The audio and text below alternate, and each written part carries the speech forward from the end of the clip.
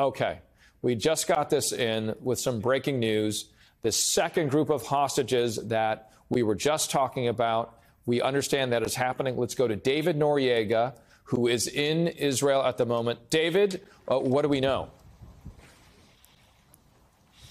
We just got in the last few minutes, Hamas is saying on one of its official Telegram channels that it has handed those hostages over to the Red Cross. Additionally, an IDF spokesperson has told NBC News that they have heard from the Red Cross that the hostages are now in their custody and are on their way to the Rafah crossing in the Gaza Strip. So, Richard, what this means is that this process we've been waiting for appears to be underway.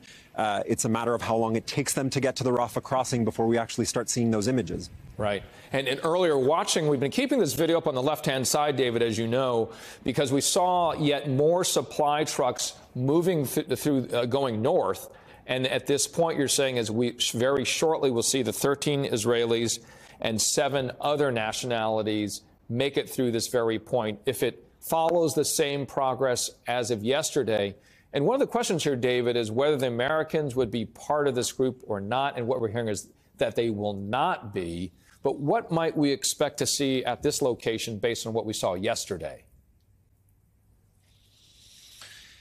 Based on what we saw yesterday, we won't know the actual identities, the names, etc., of the hostages until they are out. Uh, we do know that the IDF has those identities. They have been in contact with the families. Uh, this is required in order to, to set up the reunification of the hostages with their loved ones. But that information doesn't actually become public and accessible to us until the release officially happens. We learn this information minute by minute as it happens. Uh, on the Palestinian prisoner side, we do have the identities of those prisoners. There's an organization represents prisoners and their families in the West Bank. Uh, we, we have the names. It's really just a matter of having, you know, actually seeing those Red Cross buses enter the streets of Ramallah and, uh, and uh, release those prisoners to their homes.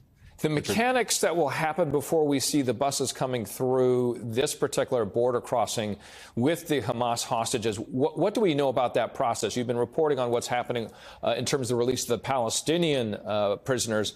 What is happening now before we actually see them cross this particular border crossing? What in Rafah you mean? Yeah. So so what happens is basically yes, the Red Cross is the go between between Hamas and the right. So the the Red Cross is the go between between uh, Hamas and the IDF. Hamas hands the hostages to the Red Cross. The Red Cross crosses the border with them, hands them to the IDF. The IDF has an operational command center on the Egypt side. Yesterday it involved uh, helicopters that flew the hostages into Israeli territory to get medical treatment. It's during that time that we begin to actually see who these hostages are. We begin to learn who their families are. Importantly, Richard say, we also begin to learn who's missing, right? Who was left yeah. behind. Mm-hmm. Uh, these aren't, com- yeah. When I was uh, in Tel Aviv earlier this week, I was speaking to multiple families of Israeli hostages who are fairly certain that their loved ones are not going to be released because, for example, they're adult males. But even that doesn't tell you the whole story. There, there will be, even after today, there will be yeah. more children left behind, more women left behind. Um, you know, th- these families are in a, a, an agonizing state of suspension. Yeah. A few of them get some degree of relief, but not even necessarily complete relief because they don't necessarily get every member of their family that they're waiting for. It, it's very piecemeal. Uh, the process isn't over until it's over, and mm. we really only learn things as we see them happen. As they are happening, David Noriega, you're, you're looking into my mind. Uh, we just heard from the IDF that the International Red Cross has the day two hostages. So the Red Cross does have the hostages for day two. The enumerated 13 Israelis, seven other nationalities, not part of the agreement, but also being released uh, as of now, this is according to the Red Cross, and the Red Cross telling the IDF they are making their way to this crossing that we see on the left hand side of your screen. And, you know, David is interesting because as we were following the delay, and then you were announcing that the delay was no longer, well, I should say, the holdup was no longer there. They had fixed the situation, right? That was the announcement through the Qataris, uh, as well as what we were hearing from Hamas. But what happened after that is that there were further supply trucks making it through this crossing. Could have it been that give us those remaining trucks, and then we'll finally let these particular hostages go, which we're just getting the news on? It's entirely possible. We didn't get a detailed response from the IDF about the, the specific allegations that Hamas made regarding what they claimed was Israel failing to meet its end of the deal. So that's something that I think probably we'll never know for sure.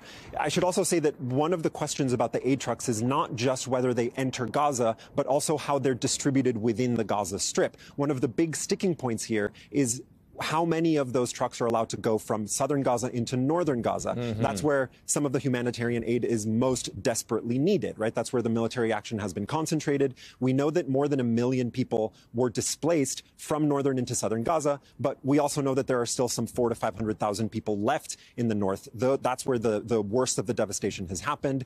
Those people desperately need that aid. It could be life saving for them. The Palestinian Red Crescent has said that even the amount of aid that they expect to, rele- to, to receive is woefully insufficient. But if you're one of those families, one of those mm-hmm. people who is receiving some of that aid, again, it could make the difference between life and death. So it's not just whether the aid trucks enter Gaza, it's also what happens after and, right. and how far they can make it into Gaza and how it's distributed.